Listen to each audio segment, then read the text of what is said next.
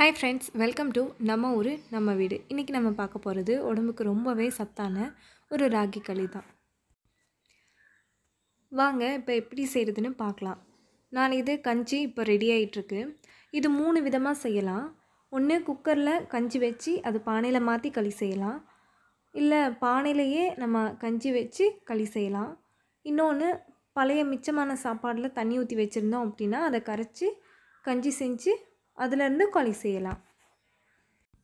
முந்நூறு கிராம் அரிசி முந்நூறு கிராம் ராகி மாவு மு இரநூறு கிராம் கோதுமை மாவு. இல்லை முந்நூறு கிராம் ராகி மாவை சேர்த்துக்கலாம். சேர்த்துட்டு அடுப்பு சிம்மில் வச்சுருங்க. பத்து நிமிஷம் அடுப்புலையே இருக்கட்டும்.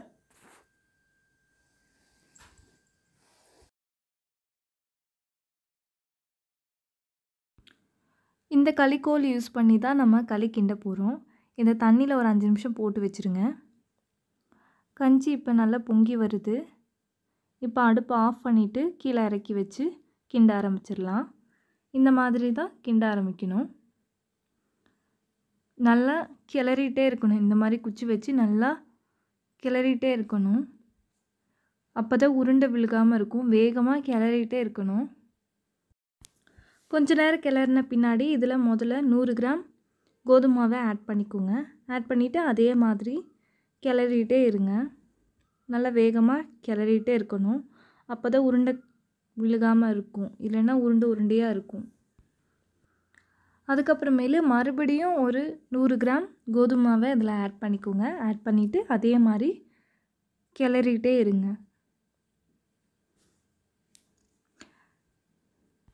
ஒரு பத்து நிமிஷத்துக்கு நல்லா கிளறிட்டே இருங்க. அப்போ தான் உருண்டு இல்லாமல் நல்லாயிருக்கும் சாஃப்டாக இருக்கும்.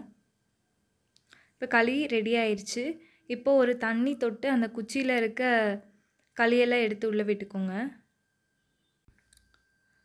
ஒரு பாத்திரத்தில் தண்ணி வச்சுக்கோங்க பக்கத்தில். அதை களியை இப்போ தொட்டு பார்த்தா கையில் ஒட்டக்கூடாது.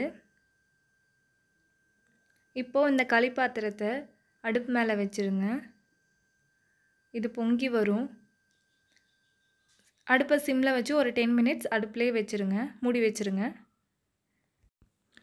அடுப்பு ஆஃப் பண்ணிவிட்டு ஒரு பாத்திரத்தில் களி எடுத்து போட்டு இந்த மாதிரி உருண்டை கட்டிக்கோங்க.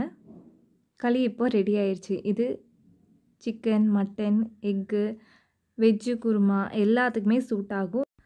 இந்த ராகி களியில் நிறைய ஹெல்த் பெனிஃபிட்ஸ்லாம் இருக்குது அதெல்லாம் என்னன்னு இப்போ பார்க்கலாம் இதில் கால்சியம் அதிகமாக இருக்கனால நம்ம எலும்புக்கும் பற்களுக்கும் ரொம்பவே நல்லது. வெயிட் லாஸ் பண்ணணும்னு நினைக்கிறவங்களுக்கு இது ஒரு குட் சாய்ஸாக இருக்கும். அடிக்கடி பசி ஏற்படாமல் தடுக்கும். சுகர் பேஷண்ட்டுக்கு ரொம்பவே நல்லது. சுகரை கண்ட்ரோல்டாக வச்சுருக்கும். கொலஸ்ட்ரால் லெவலை கம்மி பண்ணும். நம்ம கல்லீரலில் இருக்கிற அதிகப்படியான கொலஸ்ட்ராலையும் கரைச்சிரும். இதில் அயன் சக்தி அதிகமாக இருக்கனால ரத்த அணுக்களை அளவை அதிகரித்து ரத்த சோகை ஏற்படாமல் தடுக்கும். இந்த களி நம்ம சாப்பிட்றனால ரிலாக்ஸேஷன் ஆகலாம். ஒர்க் ப்ரெஷர் இருக்கிறவங்க மன அழுத்தம் இருக்கிறவங்கெல்லாம் இந்த ராகி களி அதிகமாக எடுத்துக்கிட்டால் ரிலாக்ஸ்டாக இருக்கலாம். சம்மர் டைமில் இந்த ராகி களி அதிகமாக எடுத்துட்டோம் அப்படின்னா நம்ம பாடியில் இருக்க ஹீட் லெவல்லாம் கம்மியாகி நம்ம உடம்ப கூலிங்காக வச்சுருக்கோம். நம்ம உடம்ப வலிமையாக்கும் அப்புறம் நோய் எதிர்ப்பு சக்தியை அதிகமாக்கும். இதில் வந்து புரோட்டீனும் கனிம கனிமச்சத்துக்களும் அதிகமாக இருக்குது மலச்சிக்கலை தடுக்கும். நெக்ஸ்ட்டு தைராய்டு ப்ராப்ளம் மெயினாக சொல்லணுன்னா ஹைப்போ தைராய்டு இந்த ப்ராப்ளம் இருக்கவங்களுக்கு இந்த ராகி களி ரொம்பவே நல்லது. நியூ மாம்ஸ் புதிய தாய்மார்களுக்கு உடலில் சிவப்பணு அந்த அளவை அதிகரிக்கும். அப்போ பால் சுரப்பியின் அளவையும் அதிகரிக்கும். இதெல்லாம் தான் நம்ம ராகி களி சாப்பிட்றனால நம்மளுக்கு கிடைக்கிற ஹெல்த் பெனிஃபிட்ஸ் நீங்களும் இந்த சம்மர் டைமில் மறக்காமல் இதை எடுத்துக்கோங்க. எல்லாத்துக்குமே இது ஒரு ஏற்ற ஃபுட்டாக இருக்கும். இந்த வீடியோ உங்களுக்கு பிடிச்சிருந்துச்சுன்னா லைக் பண்ணுங்கள் ஷேர் பண்ணுங்கள் அண்ட் சப்ஸ்கிரைப் பண்ணுங்கள் தேங்க்யூ ஃபார் வாட்சிங்